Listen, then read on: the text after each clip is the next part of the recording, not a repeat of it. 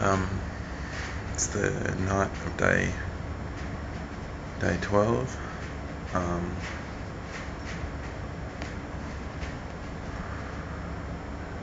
I just thought I'd come and record a few final thoughts before we leave Tokyo tomorrow morning. Going to, to London for five weeks. And, um, you know, pretty um, I know, kind of feeling a little bit sentimental about the time we've had here. Uh, particularly watching Lost in Translation at the moment. The other guys are asleep.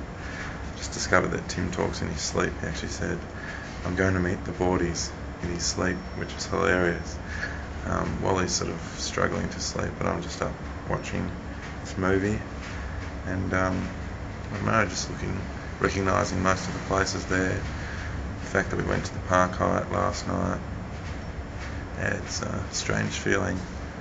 Uh, you know, obviously we'll be back in October, but um, you know, you just move through life fairly quickly.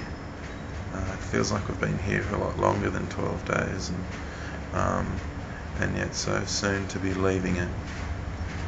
So um, yeah. London, here we come, eh?